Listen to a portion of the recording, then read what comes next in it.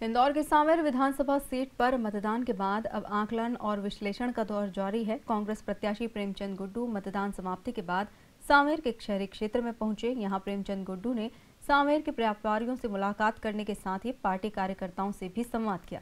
डिजियाना संवाददाता अभिषेक मिश्रा से खास बातचीत में प्रेमचंद गुड्डू अपनी जीत का दावा तो कर ही रहे हैं, साथ ही साथ एक अलग ही अंदाज में बीजेपी प्रत्याशी तुलसी सिलावट को जन्मदिन की बधाई भी दे रहे हैं।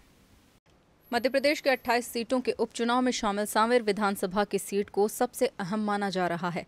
अब जब मतदान का दौर पूरा हो चुका है तो इस सीट के प्रत्याशी भी गुणा भाग में जुट गए हैं। बात कांग्रेस प्रत्याशी प्रेमचंद गुड्डू की करें तो मतदान के बाद गुरुवार को प्रेमचंद गुड्डू सांवेर के शहरी इलाके में पहुँचे। यहाँ प्रेमचंद गुड्डू ने आम जनता से चर्चा की, साथ ही साथ चुनाव कार्यालय पहुंचकर पार्टी कार्यकर्ताओं से सीधा संवाद भी किया। प्रेमचंद गुड्डू सांवेर सीट पर पहले भी विधायक रह चुके हैं, इसीलिए उन्होंने अपने ही अंदाज में पुरानी टीम के सदस्यों से भी मुलाकात की। प्रेमचंद गुड्डू ने कहीं पान खाया तो कहीं केक काटकर अपने कार्यकर्ताओं का जन्मदिन मनाया। डिजियाना संवाददाता अभिषेक मिश्रा से खास बातचीत में प्रेमचंद गुड्डू ने अपनी जीत का दावा किया है। साथ ही बीजेपी प्रत्याशी तुलसी सिलावट को उनके जन्म दिवस पर एक अलग ही अंदाज में बधाई और संदेश भी दिया। इस खास चर्चा में आप भी देखिए कि प्रेमचंद गुड्डू का अंदाज और वह आधार जिसके बूते पर वह चुनाव में जीत का दावा कर रहे हैं। डीजेना न्यूज़ में आप सभी का बहुत बहुत स्वागत है और मैं हूँ अभिषेक मिश्रा और बात करते हैं सावेर उपचुनाव की, क्योंकि मतदान का दौर समाप्त हो चुका है और अब इंतज़ार है मतगणना के दिन की, यानी 10 तारीख की।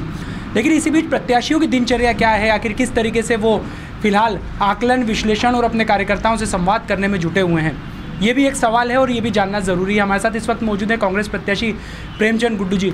सर, परसों चुनाव हो चुका है, लगभग प्रक्रिया पूरी संचालित हो चुकी है। कल आपने परिवार के साथ समय बिताया, आज वापस सामेर में अपने लोगों के बीच पहुँचे। जी हाँ आज हम हमारे सब साथियों में, हमारे पुराने साथी नवाब पहलवान की बिटिया की शादी भी थी। साथ में सभी साथियों को मैसेज किया था, हमारे मंडलम अध्यक्ष, हमारे ब्लॉक अध्यक्ष, सब लोगों से चर्चा।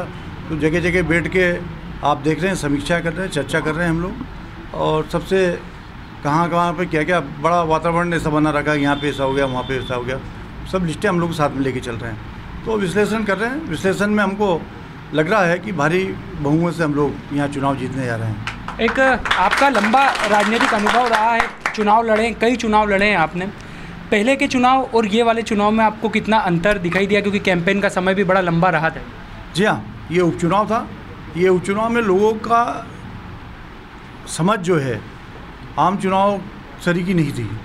लोगों का विचार ये था कि हमारे हमारे साथ गद्दारी हुआ, हुई है और हमारे से कुछ ना कुछ चोरी हो गया है। या हमने जिसके प्रति विश्वास व्यक्त किया, उसने हमारे साथ विश्वासघात किया। तो ये समझने में भी लोग बड़े धीरे धीरे करके खुल खुल के आखिरी में मतदान के दिन आते आते लोग बहुत खुले रूप से सामने आ गए। विशेषकर नौजवानों को ज़्यादा आहत थे। जिन नौजवानों को लग रहा था कि पहली बार वोट दिया और पहली बार हम ठगे गए तो वो उतने गुस्से से, उतनी ताकत से लगे हुए थे। जहाँ हमारे पास कोई डिमांड नहीं थी, कहीं भी किसी भी प्रकार की जैसे चुनाव आम चुनाव में सुनने में आता। किसी भी प्रकार की कोई डिमांड नहीं, जैसे वो खुद ही चुनाव लड़ रहे हों। और हमारे जो सोशल मीडिया पे हों, या हमारा वार रूम था एक एक पल की जानकारी, हर पोलिंग की हमारे हम लोगों के पास थी।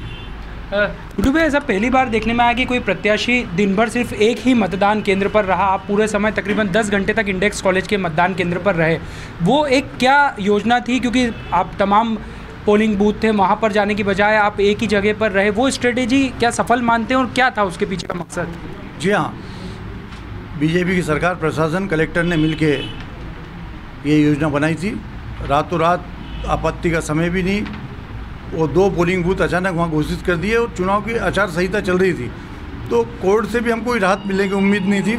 साढ़े सोलह सौ वोट उसके अंदर बढ़ा दिए गए फाइनल प्रकाशन में कर दिया गया। जब आखिरी तक हमारी स्ट्रेटेजी थी, बाकी जगह तो हमारे सब लोग तैयार थे।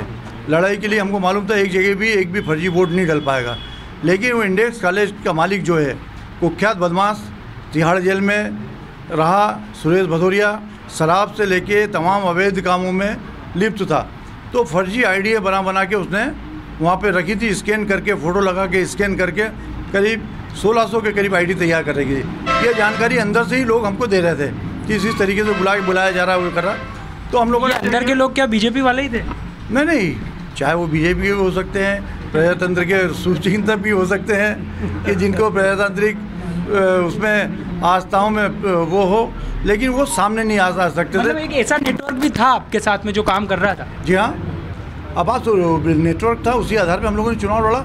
और आज आप कल्पना करो जो मेंबर पार्लियामेंट रहा हूँ मैं पार्षद रहा हूँ मैं विधायक रहा हूँ दो दो एकमात्र एक पोलिंग बूथ पे दस घंटे नहीं मैं सुबह चार बजे वहाँ पहुँच गया था।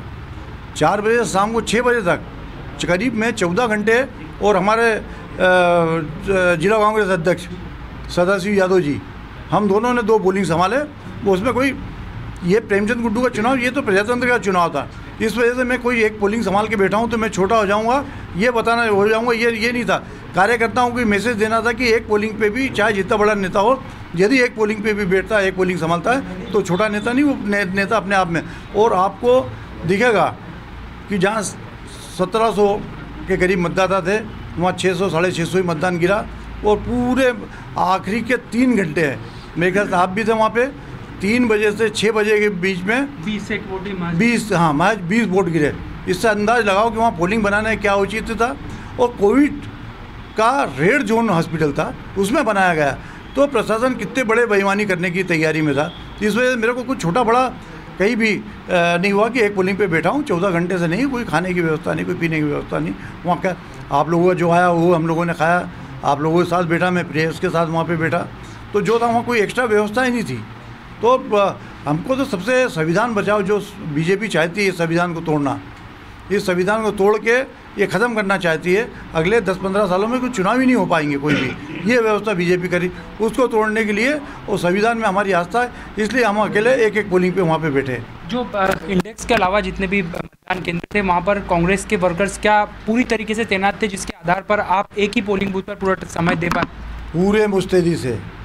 पूरी मुस्तैदी से, पूरी ताकत से, ये कोई भी ऐसा पोलिंग नहीं है जहाँ पे कांग्रेस का कार्यकर्ता आखिरी तक, यहाँ तक कि इतने ज़्यादा वो था, आंदोलित था कि पोलिंग बूथ से जो पेटियाँ गई हैं, नेहरू स्टेडियम तक रात को दो दो बजे तक मोटरसाइकिलें, स्कूटर इतने ठंड में, कारें ले लेके उसके पीछे तक, वहाँ तक जब तक अंदर नहीं हो गई, लॉकअप नहीं हो गई, जब तक लोग वहाँ से हटे नहीं हैं।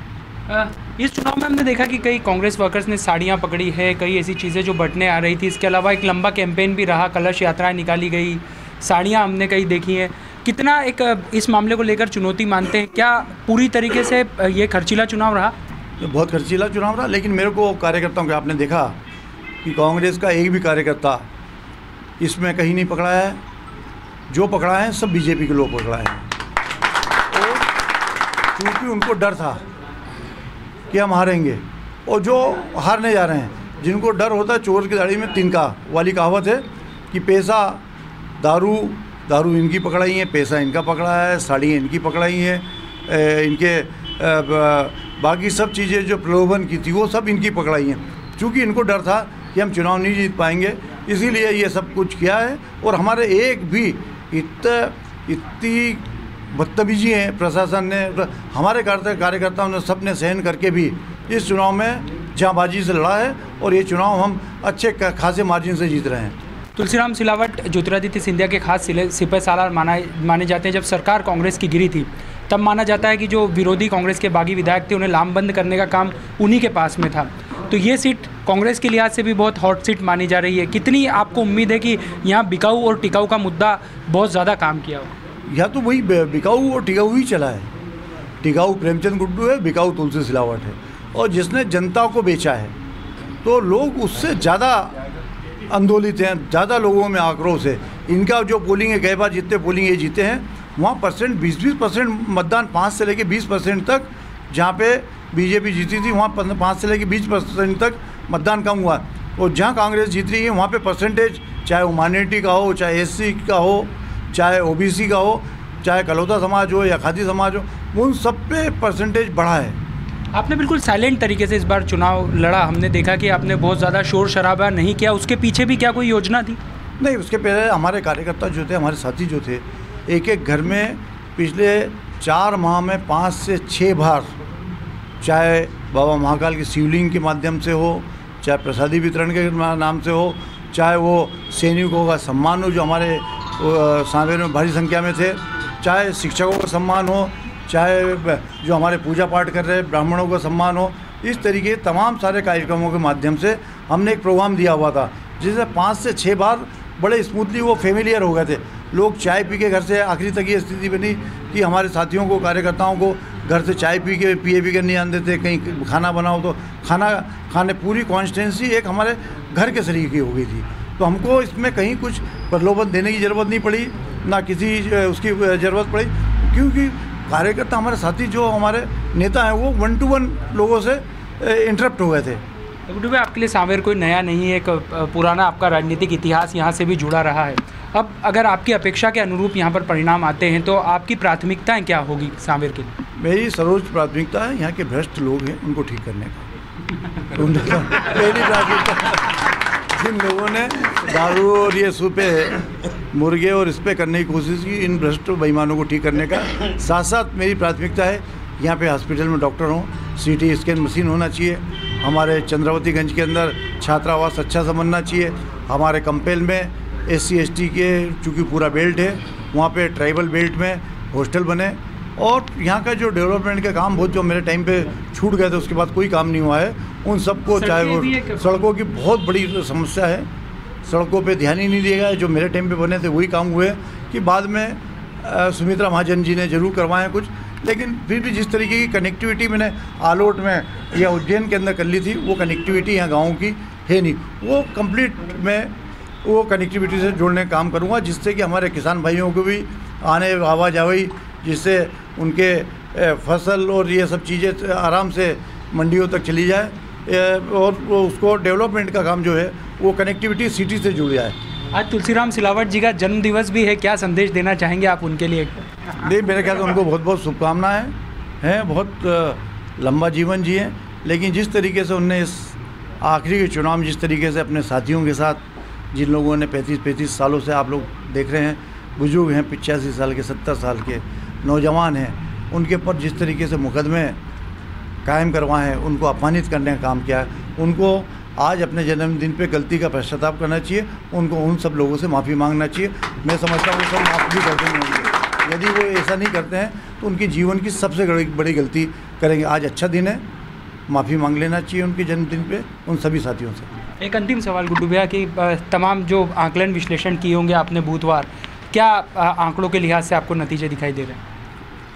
बीजेपी दावा कर रही है बीस हज़ार प्लस से जीत का। दावा करने में कुछ भी नहीं।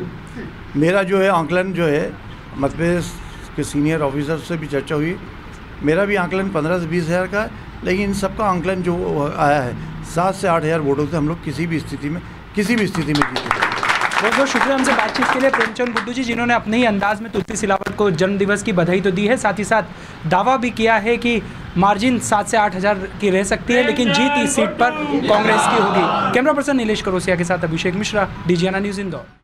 कांग्रेस प्रत्याशी प्रेमचंद गुड्डू ने गुरुवार को पूरा दिन सांवेर में ही बिताया। अब जीत का ऊँट किस करवट बैठेगा, यह तो 10 नवंबर को ही पता चलेगा। लेकिन इतना ज़रूर है कि कांग्रेस प्रत्याशी प्रेमचंद गुड्डू मतगणना से पहले आत्मविश्वास के साथ जीत का दावा कर रहे हैं। ब्यूरो रिपोर्ट, रिजियाना न्यूज़, इंदौर।